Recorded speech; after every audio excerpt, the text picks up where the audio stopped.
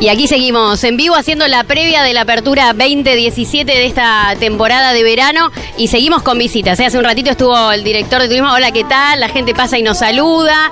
Eh, hace un ratito decíamos estuvo el director de turismo que está a full porque ya estamos con la cuenta regresiva a las 19 aquí muy cerquita en Avenida La Costanera de los Pescadores y ahora nos visita la señora intendenta Sandra Mayor, muy buenas tardes y también la subdirectora de la dirección, no, la, la subsecretaria de salud, Marisa Musambach. Buenas tardes también para vos. ¿Cómo andan? Hola Natalia, hola chicos, la verdad que un placer, la verdad que es un escenario hermoso el que han este, podido armar acá este, con nuestra laguna, la verdad que impecable. Así que un gusto poder estar con ustedes en el día de hoy y poder este, charlar un poco de la jornada, ¿no? Bien, que ya falta poquito, ¿cómo te preparas para esta apertura de temporada? ¿Qué expectativas hay para este verano? Decime, eh, arrancamos hoy temprano con la inauguración de lo que es la, la escolita de de kayak eh, municipal, que la verdad que fue hermoso, fue un placer compartirlo. Muchos eh, nenes vinieron este, a disfrutarlo y sus padres, por supuesto, acompañando, así que es muy importante que las familias estén presentes, que confíen en la Escuela Municipal de Deportes en este caso y en la escuelita en particular de kayak, así que hoy disfrutaron del agua, una jornada hermosa, aprendido este deporte, también el remo que comenzó por el mes de agosto, seguimos eh, disfrutando quien este, lo lo practica. Eh, la verdad que fue muy lindo. Y bueno, pensar hoy 7 de enero, lanzar la temporada, eh, más allá que obviamente que la actividad se viene dando todos los fines de semana, todos los días, pero un poco el cronograma bien organizado y planeado para dar algún servicio turístico a los que quieran elegir monte para su distracción y disfrute, pero sobre todo para los montenses, ¿no?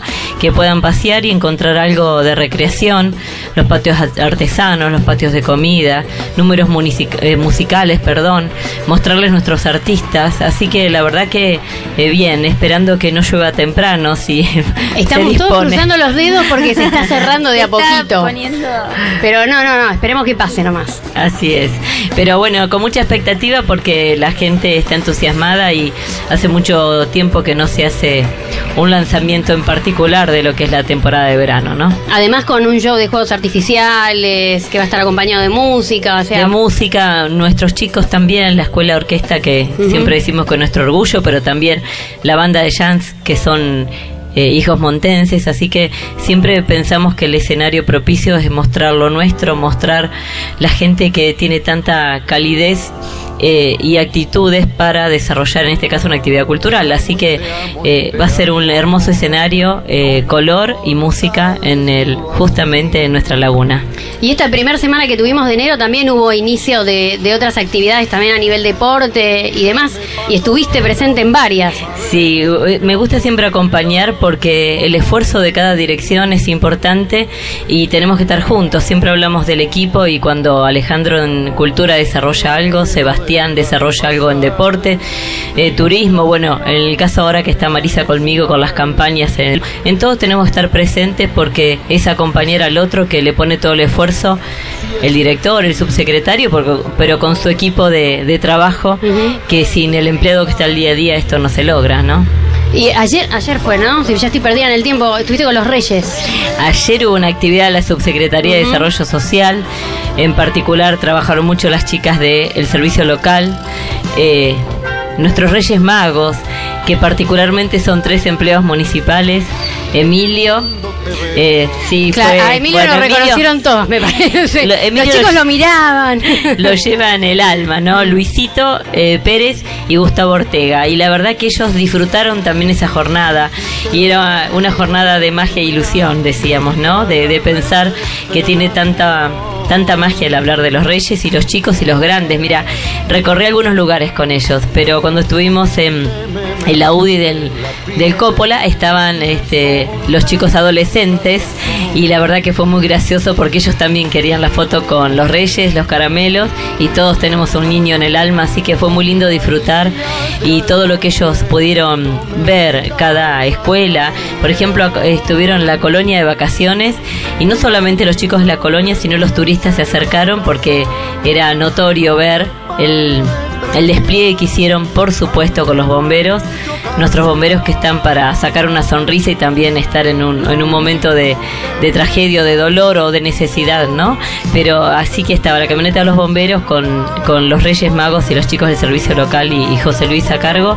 La verdad que fue una hermosa jornada. Después, hasta la plaza, un despliegue importante, así que fue un día muy, muy lindo, Natalia, ayer, lo de los Reyes Magos. Ahora, escuchándote y viendo ¿no? en el transcurso del año que estabas en todas las movidas acompañando a los diferentes directores y demás, ¿cuándo descansas, Sandra Mayor? Y bueno, Nunca. Porque actividades hay todos los días, de lunes a lunes, desde las diferentes dependencias del municipio, ¿no? Y cuando uno acompaña, ¿cómo hace para descansar? Sí, en realidad el único día casi que no salgo de mi casa es el domingo, salvo que haya también, como va a pasar mañana, actividades, pero bueno, disfruta cada cosa que hace y el estar al lado del otro, ¿no? Así que bueno, eh, eh, creo que el momento más propicio es cuando estoy en casa a la noche, la cena el- y descansar profundamente y después tener las pilas para el otro día comenzar a seguir trabajando en ese día a día, ¿no? Bien, y hablamos un poquito con Marisa, que el tema del verano eh, es básico, ¿no? El, el tema de cu- cómo cuidarse la salud y también el tema de los mosquitos, De los ¿no? Y las diferentes sí. enfermedades que se que transmiten. son estivales, sí. Sí, bueno, mira, ya comenzó du- durante todo el año. Eh, hubo un programa de sanidad escolar que fue el ProSane, donde se hicieron parte asistencial y una parte de eh, charlas a, los padres y, y a los alumnos, donde se trataron determinadas eh, gripes, eh, charlas sobre dengue también se dieron, o sea que durante el año se estuvo ya hablando de dengue. Y ahora específicamente hubo dos miércoles seguidos, estuvieron en la plaza repartiendo folletos y haciendo, informando y educando a la gente otra vez. El año pasado fue casa por casa, este año la movida fue distinta, decidimos hacerlo más en forma general. Y bueno, y mañana justamente a las 3 de la tarde acá en La Laguna, en la unidad sanitaria de la, de la costanera, que de paso vuelvo a repetir dónde está porque a algunos les cuesta ubicarla, que está entre los baños públicos y mm, donde están los chicos Boy Scouts. Eh, ahí está la, la unidad sanitaria, mañana va a estar, bueno, la unidad sanitaria abre los domingos de 10 a 15 y a partir de las 15 van a hacer, eh, van a repartir folletos, van a recorrer la laguna. También abarca la parte del turismo, ¿no? Porque también hay que educar a la gente que viene de afuera, porque si no, no ayuda todo, ¿no? Y le recordamos un poquito a la población cómo qué hacemos para porque el problema es el mosquito, cómo hacemos para que el mosquito no se reproduzca y no llegue directamente, Claro, y bueno, ¿no? lo primero que, eso es lo que hay que siempre, evitar. siempre se escuchó es no tener eh, cacharros, es decir, descacharrizar, Esa, fa- esa famosa palabra. Todo lo que pueda retener agua, así sean mínimas cantidades, porque en realidad es un mosquito doméstico, es un mosquito que está dentro de las casas, entonces hay que evitar que eh, se reproduzca, evi- evitar que entre a las casas, por eso, bueno, uso de mosquiteros, espirales, bueno, eh, el off famoso, aplicarse y sacar todo lo que pueda, eh, bebederos, tapitas de, de gaseosa que queden boca, boca, con la boca para arriba para que no, no se junte agua. Y también, eh, bueno, cortar el pasto, obviamente. eh, todas esas medidas de cambiar los bebederos a los perritos. Vio que, viste que a veces te olvidas de pobre el perro con el agua ahí. Bueno, hay que renovar el agua para que no se, no se, no se estanque. Para que ahí no se deposite el mosquito, ¿no? Dar La- vuelta el a los juguetes, ¿no? Dar vuelta a los juguetes fondo las, y sí, las, las, las ruedas de autos que a veces tienen eh, hay gente que usa de macetero, ¿no? Que no se que no se acumule comi- eh, agua, perdón. Y hay muchas consultas en, en las diferencias, en las diferentes unidades de los barrios sobre el tema de diarrea, que es muy común en esta época del año. Mira, eh, yo hablé con la pediatra y hasta ahora no había muchos casos, pero bueno, recién estamos comenzando. Claro. Ese es el tema, todavía falta. Eh, y eh, me hiciste acordar que en la, en- en la unidad sanitaria de La Esperanza también se hicieron charlas abiertas eh, sobre dengue a, a- a la gente en la, en la sala de espera. Y bueno, y el, el jueves y dos jueves de enero van, a- van a ser, este jueves que pasó y mm, después es otro jueves que creo que es en 15 días, que se da otra vez mm, una parte recreativa junto con el CPA y se dan charlas también educativas. Se hace una parte que los chicos eh, arman un pelotero, juegan a la pelota, están con, con todas actividades para, para distracción. Ahí en, eh, lo hicieron en la, al lado de la delegación de la, de la unidad sanitaria del barrio Esperanza. ¿Y las unidades sanitarias siguen abiertas en los mismos horarios que durante el año en el verano? Mira, eh, la, la unidad sanitaria del Boom y del Coppola abre de 7 de la mañana a 19 de la tarde, horario corrido. La sala de la Esperanza está de 8 de la mañana a 19 horas. Y la sala de la costanera lo que hace es cambiar su horario de invierno por horario de verano. Abre los viernes, sábados y domingos. Los viernes está eh, de 14 a 18, que si querés tener en cuenta ahí va- hay un médico clínico.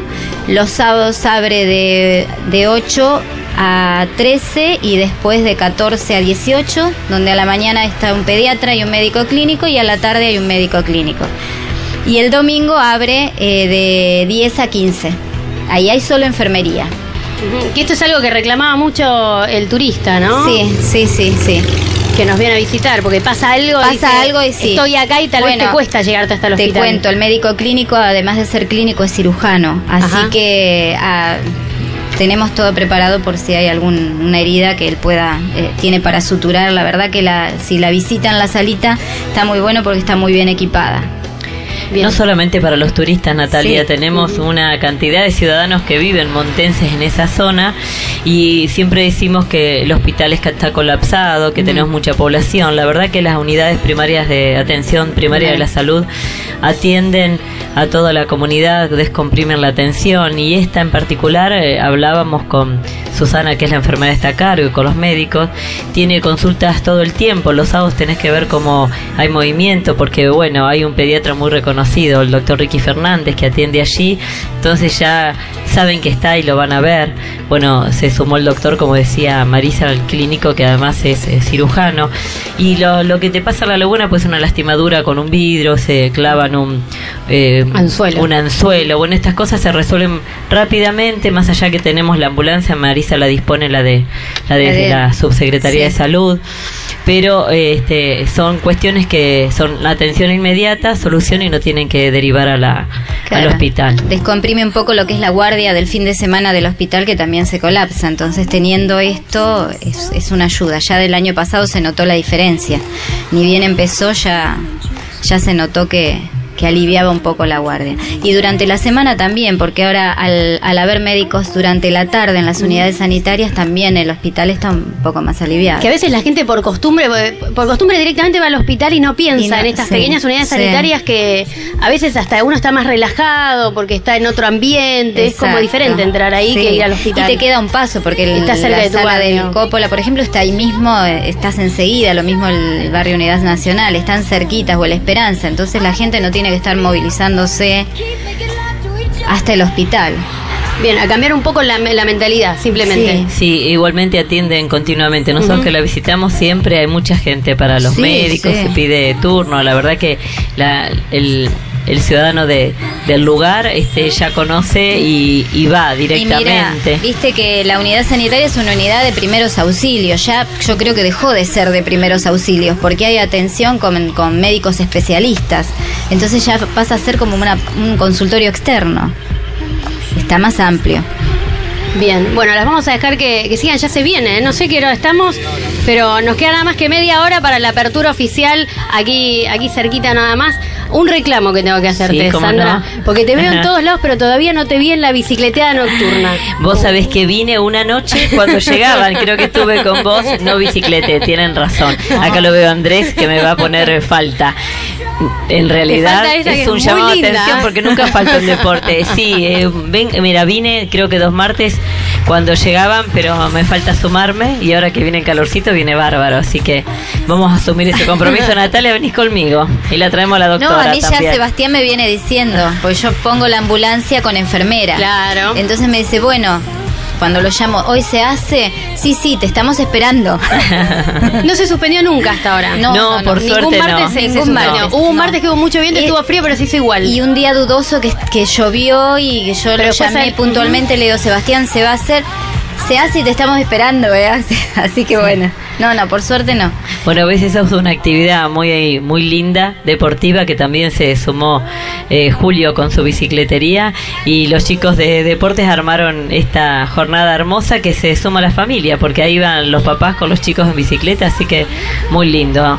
Veremos si este martes o el próximo nos sumamos.